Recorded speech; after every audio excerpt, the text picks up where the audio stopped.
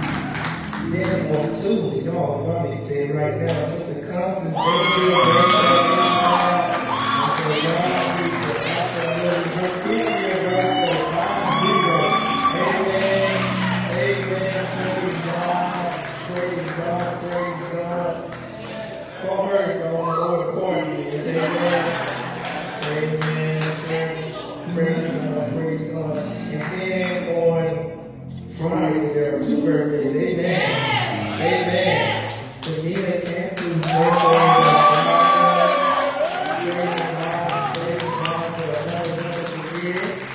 Brother Sammy Posey's birthday. Hallelujah. Hallelujah. Praise God. And let's give God the glory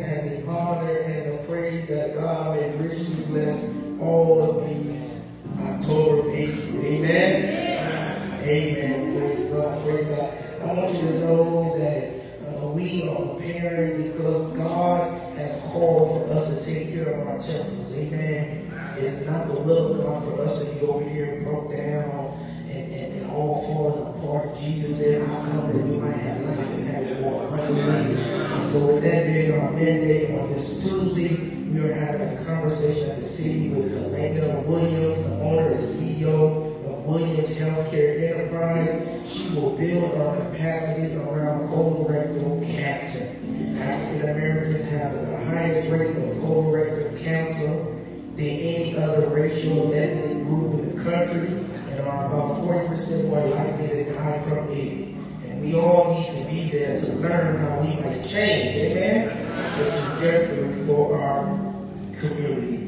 You should understand that next week, in support of those affected and enduring, we are wearing pink for breast cancer awareness. And so if you would join us, it would be greatly appreciated if you would come in some shade in order to celebrate. Oh, how many survivors you have in the building right now? Amen. Amen. I see hands up.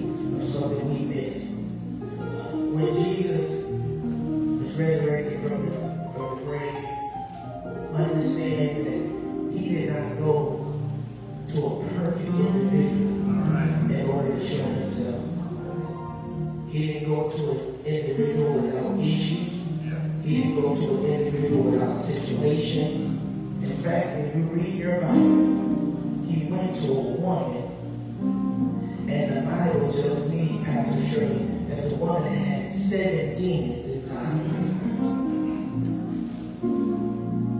Church folk would have went to somebody perfect, somebody with it all together.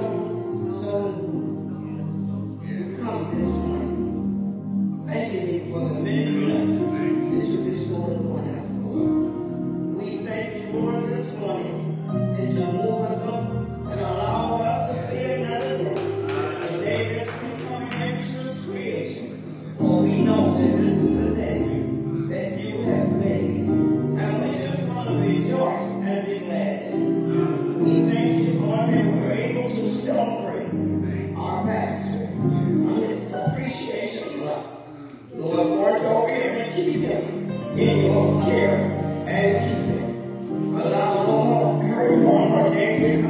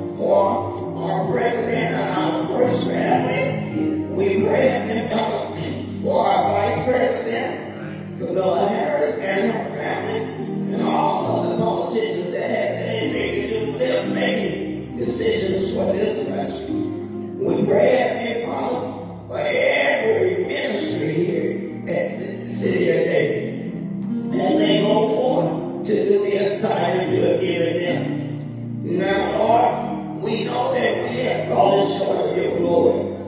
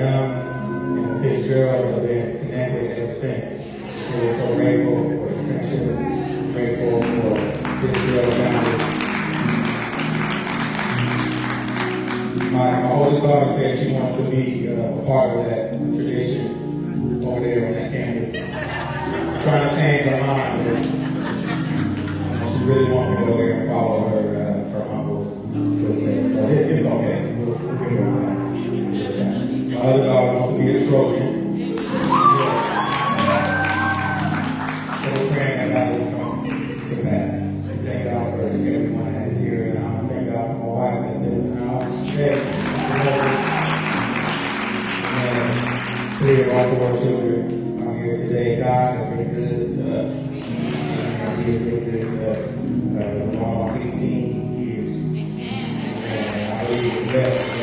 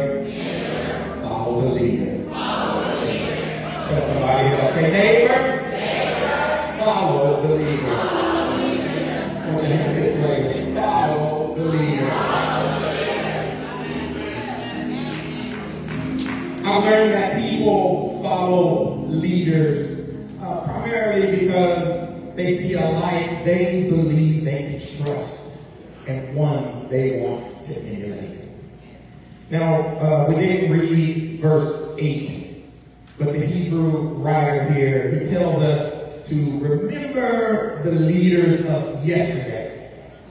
Think about their lives and imitate their faith. Uh, then he reminds us that uh, Jesus Christ is the same yesterday, today, and forever. In other words, what God did for those leaders in years past, He's telling us He can do the same thing in this day, 2023. Uh, the, the same great things that He accomplished through their leadership back in, in, in this biblical time, uh, He would like to do through us today. Do you believe that?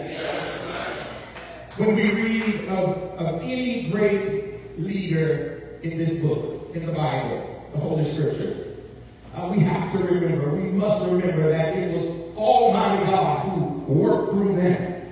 And the same God who led these biblical leaders, He wants to lead our leaders in this great day. Amen, somebody. Believers in Christ Jesus are called to obey their leaders. I'm going to say that again. Believers in Jesus Christ are called to obey their leaders.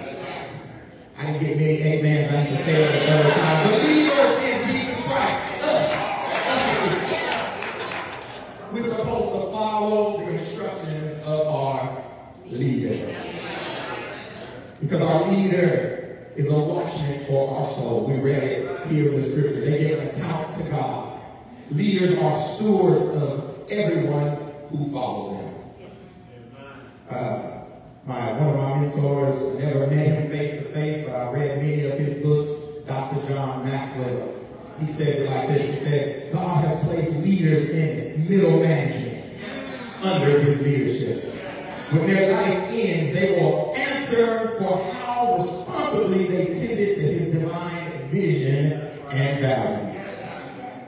God is in the business of not only saving lives, but he also wants to save and lead our leaders.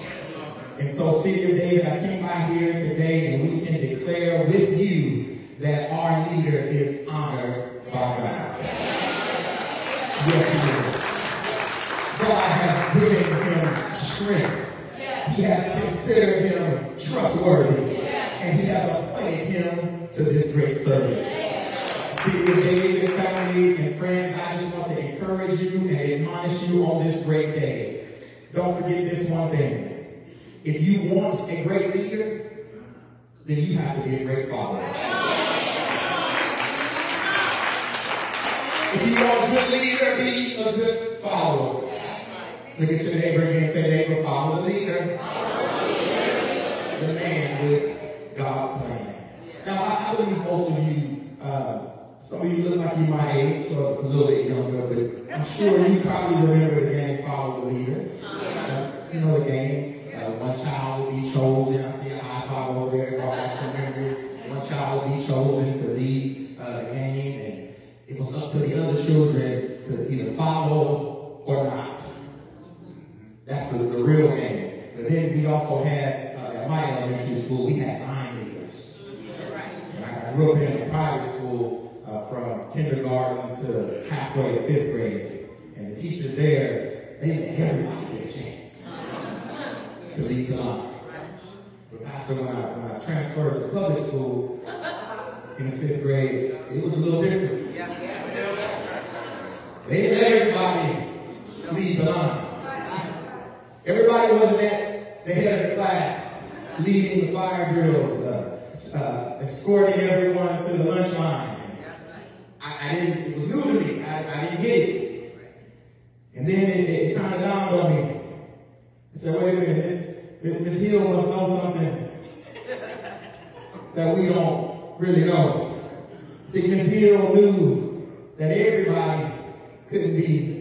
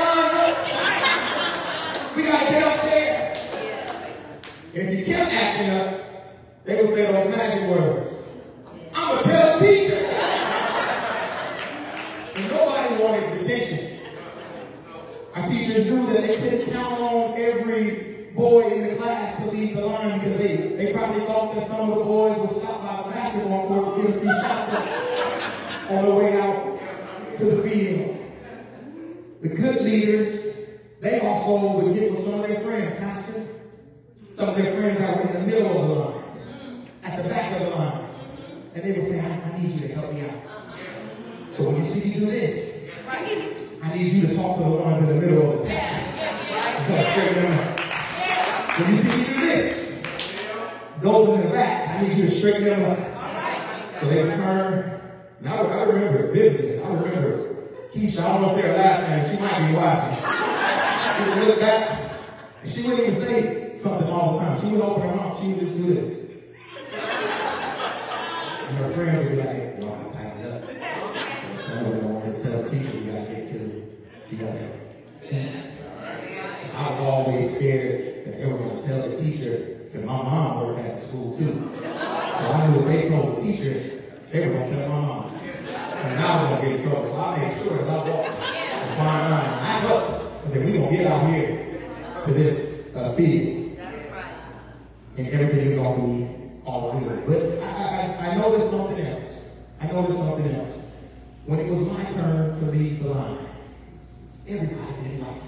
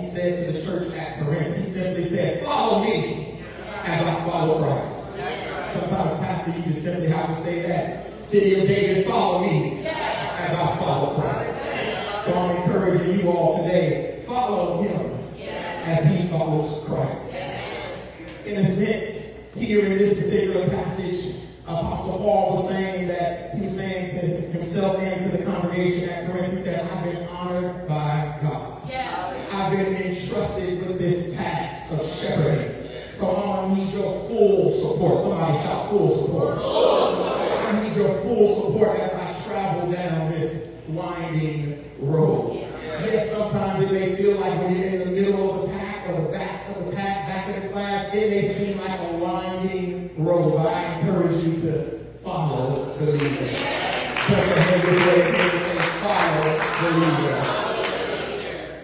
Now I understand that every good leader once was a good follower. I understand now. Some of y'all think that I, I may be making this story up, but no, that, that fifth grade class helped me today. It helped me understand some stuff today. I had to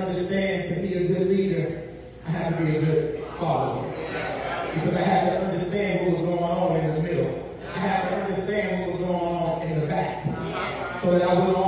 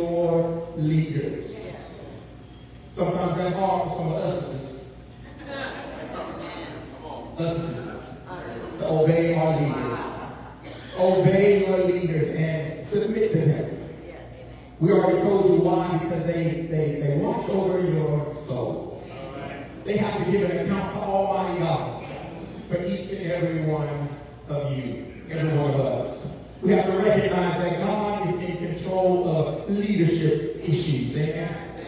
Uh, please know this. Our responsibility to authority. It reveals that we really believe what we really believe about God's sovereignty. When we rebel against when we go against the man's plan that God has given him. In effect, what we are, are doing is we're, we're going against the rulership of Almighty God. Because God put him in place. So when he hears from God, sometimes it's, it's just him and God. We, we don't get we don't get three-way in on that call. So when God gives him, we have to trust and believe that it is for us. So we have to acknowledge what God has given him and continue to follow the leader. God has put authority structures in place, brother, to bless us all. Yes, yes, yes. He has put this all together for our benefit. So when we oppose leadership, we are making a statement about our view of God's work in our midst. Look at your neighbor again and say, acknowledge the leader. Really quickly, number two, let me move on. We have to serve. Yes, yes, yes. Serve with joy and not groaning or complaining. Only got about four hand claps. I'm gonna say it again. Sister Constance, I need them to get excited like how you were when you gave me the birthday shout out. Serve with joy and not groaning or complaining. The Bible to us. Be a joy to your leader. Uh, when, when you team up with your leader, you become a joy and not a burden. When you get involved, you, you energize the leader.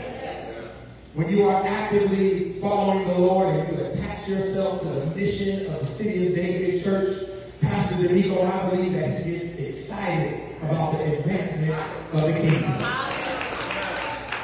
I believe when you, humbly confess your needs, both spiritually and, and physically, I believe that Pastor Demiko will respond because being a family is what this thing is all about. I believe that he will come to your rescue and it's time of your need. What I'm saying is when you do your part, it eases the burden off of the pastor. Look at your neighbor again, that person to you, joy sitting next to and say, serve with joy. Number three, number three, grow. Grow. Grow. Now I want to turn to Acts the 17th chapter, if I may. Acts 17 and 11. says now these Jews were more noble than those in Thessalonica. They received the word with all eagerness. Somebody shout eagerness. Examining the scriptures daily to see if these things were so. And when I, when I read that, I, I quickly understood that the people of that time, they were called the Bereans. The Bereans knew what was most important. They knew that the scripture, the Bible, was the standard. I had to read it twice to get that understanding. I, I didn't go to school in Westwood, so it took me a little, little long. When I read it the second time, I said, oh, okay, I get it. They, they knew what it meant to stand on the word of God, to take it line by line. They, they believed every promise in the book belonged to them. Now, as Christians, we, we have an obligation that is higher than our leaders. I understand that now. It is simply the word of God itself. Amen, somebody. We have an obligation to, to hear and to respond to the truth. And we need to keep uh, in our minds that because we, we are never to follow a leader blindly. I'm not telling you that. We are never to follow any leader blindly. So that means we are to be, uh, listen carefully, we are to be critical in mind, but not in heart. I want to make sure you hear me well on Facebook. Be critical in mind, but not in heart. We are to think through issues that are presented to us. Uh, this, this does not, it doesn't go, go away whether you're a leader or a follower. And I'm sure most of you understand that it's, it's by nature of, I'll just say, evaluation. Nature of evaluation that there is an allowance of, uh, you probably use this in court attorney, dissenting conclusions. I, I just me, but I believe that there were some people uh, born argue.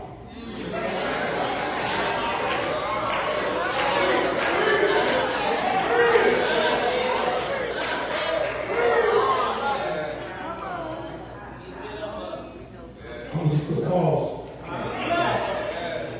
Some people were born to oppose. But we, we are not allowed, and I teach my children this, we're not allowed to be unkind. We're not allowed to, to judge motives. We're not allowed to, to gossip when we don't agree with the name of God or with any leadership. Uh, we can we can think critically, but we cannot be critical in heart. And think, well, well, preacher, when is it the right time to, to challenge leadership? Is there a time? Is there a legitimate time that we can challenge leadership? And, and I'm not necessarily saying challenge leadership, but there are there are two principles, Pastor, uh, that I will say you need to speak up. You need to speak up when uh, when your leader requires you to do something that is prohibited by Scripture. And, and you need to speak up when your leader um, is, is talking about something that uh, pro- prohibits you from doing something that the scripture requires you to do. So those two come up, then you, you need to pull Pastor to the side and Pastor, and come to him uh, with, with the spirit of Matthew 18. Say, my, my, my brother, I, I don't understand this. Can you give me an understanding? And then you all move on there when your leader is honored by God, as we have declared on this great day, uh, yes, they will still make some mistakes. We all do. Uh, but, but we all are to grow in the grace and knowledge of our Lord and Savior, Jesus Christ. As it says in 2 Peter, I believe that's the, the third chapter, verse 17 and 18, it admonishes us there. Searching the scriptures daily, it creates personal growth. Let me move on quickly. Uh, number four, imitate. Imitate. Uh, 1 Corinthians, the fourth chapter, verse 14 through 16, it says, I, I do not write these things to make you ashamed, but to admonish you as my beloved children. For though you have countless guides in Christ, you do not have many fathers. For I became your father in Christ Jesus through the gospel. And it ends with this. It says, I urge you, then be imitators of me. Apostle Paul, he, he gives some, some sobering advice there, doesn't he? Just, he says, imitate me. And you can't imitate everybody. You can't do what everybody else does. Mom always told me that. It took me years to understand what she truly meant. But he, he says it both humbly and confidently here in this passage. Uh, what he's telling us is that uh, the, the elders, leaders, pastors are, are living examples of how to follow Christ. Pastor Demiko is a living example of how to follow Christ. So this means that if your, your leaders are truly imitating the humility and the servitude of Jesus, you can and you should imitate them without any fear, without any doubt. Turn to your neighbor again and say, you can follow our leader. Follow the leader, follow the leader, follow the leader. Number five is respect. All right. Respect. Respect. R-E-S-P-E-C-T. Yes. That R E S P E C T. know the song. Respect. First Thessalonians 5, uh, verses 12 and 13. It says in the NIV, it says, We ask you, brothers and, and sisters, to respect those who labor among you and are over you in the Lord, and admonish you, and to esteem them with very, very highly in love because of their work. Can we just applaud the work?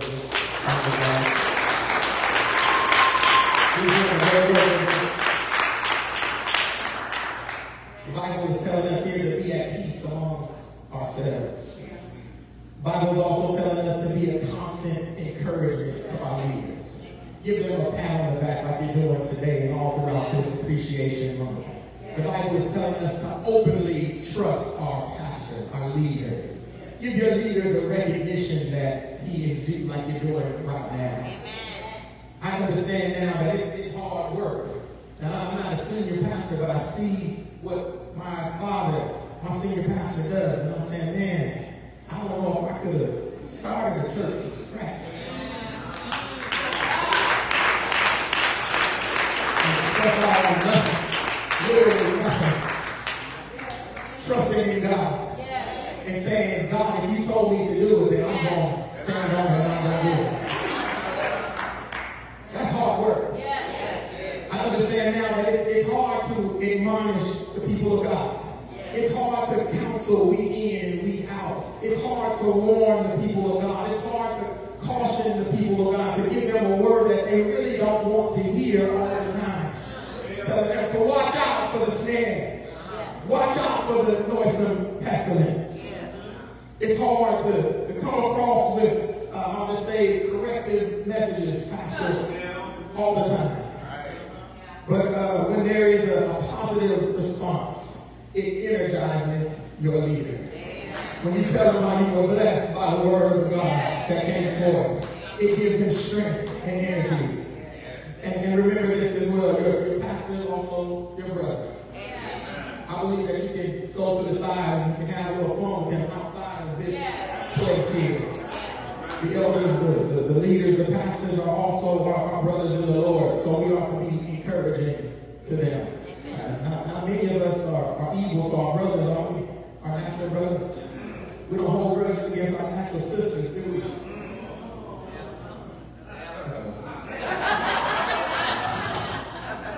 We are commanded by God in 1 Peter 2 and 17 to show proper respect to everyone.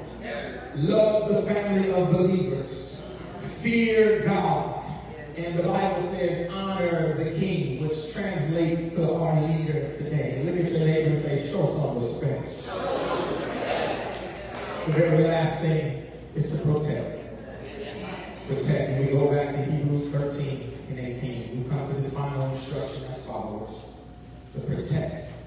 And that starts off with prayer. Pray for your leader. Say to David, if you are not praying for your pastor, you are not doing your job. Pray for your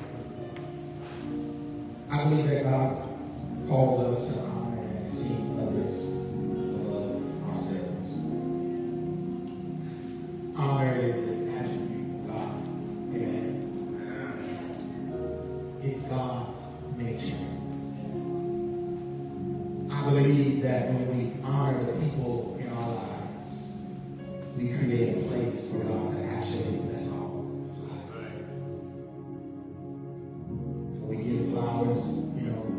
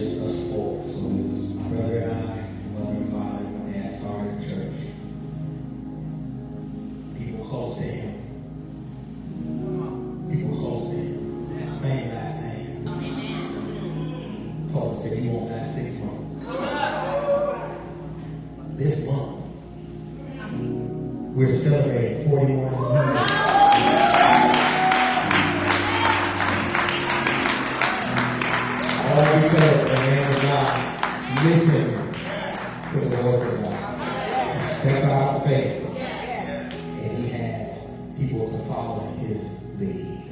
Yes. I hate to be redundant.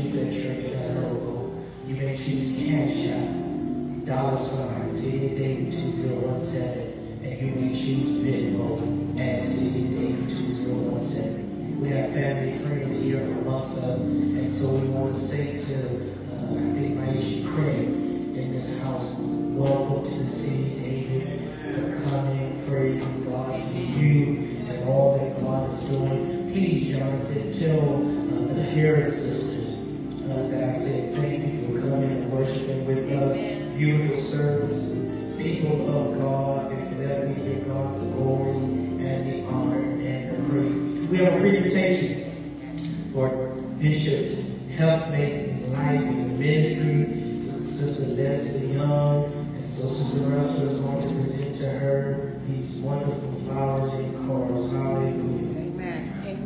After that, please